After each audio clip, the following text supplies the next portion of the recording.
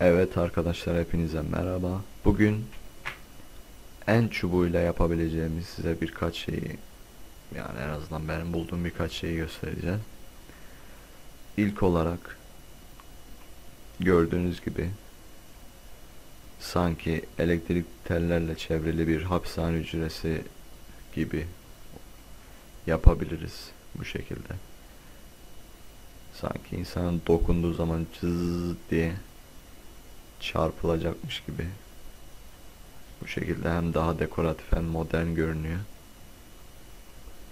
İkinci olarak bu şekilde güzel bir avize yapılabilir. Ee, özellikle end kristallerin renklerine uygun olarak olan ince camları kullanırsak daha güzel görünür. Evet bu şekilde önce bir artı Sonra artının kenarlarını birleştiriyoruz. Şu şekilde. Ve ben alt tarafına tekrardan bir artı kenarları birleştir fazlalık olarak sadece şuraları biraz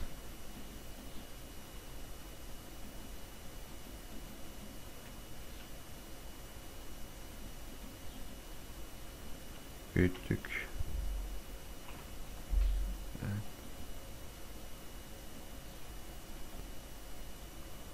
Alt tarafa da şu şekilde e, evet artık bu gördüğünüz her köşeye en çubuğu koyabiliriz. An.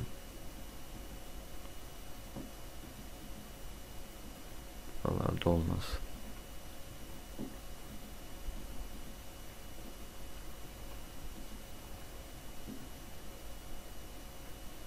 Evet.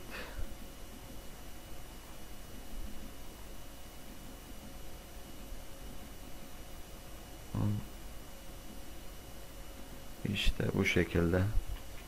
İkinci olarak böyle güzel bir şekil. Önemi olan blokların sonsuza dek hatırlanabileceği bir anıt. Mesela ilk elmas bloğu. Ça buraya koydunuz. Göz önünde. Ney diye bu sorarlarsa ilk elmas bloğu. Bu şekilde. Veya ça bir taş koyarsınız. Bu beni lav lava düşmeme engelleyen taş gibi. An. Hı. Bu şekilde yapıyoruz. En çubuklarını koyuyoruz. Mesela ben kızıl taş koymak istiyorum.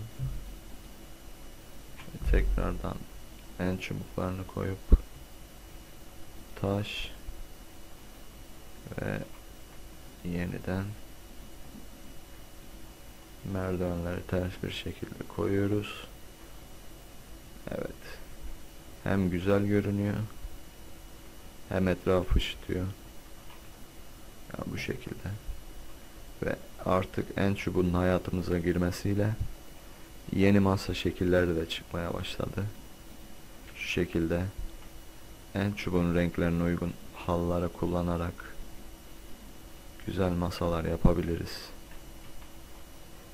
veya önceki sistem tuzak kapısını kullanarak da güzel masalar yapılabilir. Bu şekilde oturacak yerlerde yapalım. Evet. Çok güzel. Ve bu şekilde bir pota yaptım ben. Bence güzel görünüyor.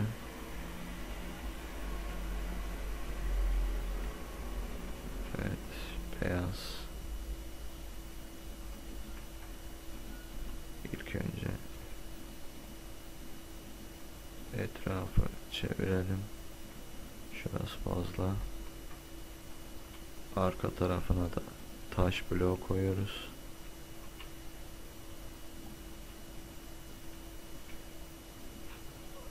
Ortasına da turuncu A ve bu şekilde tabela koyarak basket potamızı bitiriyoruz. Biraz yavaş gidiyor ama yani güzel görünüyor. Evet bu şekilde en çubuğunu televizyon hoparlörü olarak da kullanabiliriz. Görüyorsunuz. Taş duvarları kullanarak yosunlu ve düz kırık taş duvarı. Ama e, bir sıkıntı olabilir şu şekilde. Çok doldu üstüm.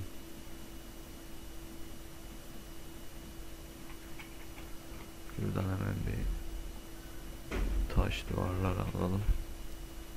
Mesela burada yapıyorum. E, Gördüğünüz gibi normalde duvara birleşmesi lazım. Burada yapıyorum duvara birleşiyor. Peki bunu nasıl engelleyebiliriz? Hemen şu şekilde uzatalım şurayı. İlk önce burayı kırıyoruz.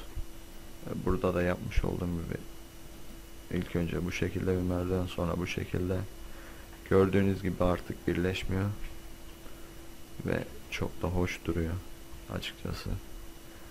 Bir diğeri bu şekilde en çubuğu tuzak tahta tuzak kapısı ve yarım kuvars bloğu kullanarak modern bir ışıklandırma sistemi. Evet.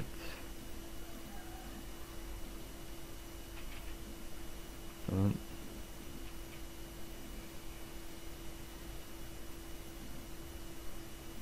Evet. Şu şekilde de etrafını çevirirsek çok güzel de duruyor, hoş yani. Ve gelelim babalara. Evet. End portalı kullanarak Ender gözü bu şekilde en çubuğu ve meşe yaprakları. Gördüğünüz gibi güzel bir saksı ve süs oldu. Yani en çubuğunu bu şekilde de kullanabiliriz. Araya güzel bir şey. Çok hoş duruyor. Araya ince cam. Gördüğünüz gibi ben çubuğunu bir sanki ucunda meşe yaprakları duran bir şey gibi kullanıyoruz. Ve kenarlarına süs olsun diye tahta tuzak kapısı. Bu şekilde e, paketlemiş buzu saksı olarak kullandım. Ve en çubuğunu bu ağaçların gövdesi olarak. Hoş bir süs. Ve şu ilk ikinci olarak yaptığımız sanki şeyin uzun şeyi uzun versiyonu. Ve bildiğiniz gibi en çubuğu yan da konulabiliyor. Bu da yan versiyon olarak kullanabiliriz. E, 1.9'da artık e, bildiğiniz gibi ince camları böyle bu şekilde çubuk olarak konuluyor. Ve ben de e, meşe yapraklarıyla bir bağlantı kurmak için kullandım. Araya da en çubuğu ve ortaya da kuvars blok. Bence hoş ve güzel görünüyor bu şekilde de kullanabiliriz. Ve son olarak da bildiğiniz gibi artık end kristallerini yapabiliyoruz. Bu şekilde. Obsidian alalım. Alsana ha.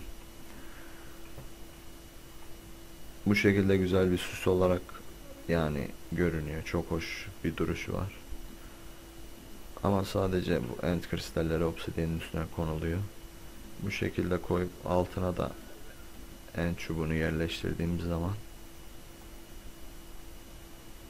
yani çok hoş durdu bu şekilde Sanki Google'ın be bekleme şeyi gibi oluyor. Dalgalı dalgalı. Evet. Bu da böyle bir videoydu. İzlediğiniz için teşekkür ederim. Başka videolarda görüşmek üzere. Hoşça kalın.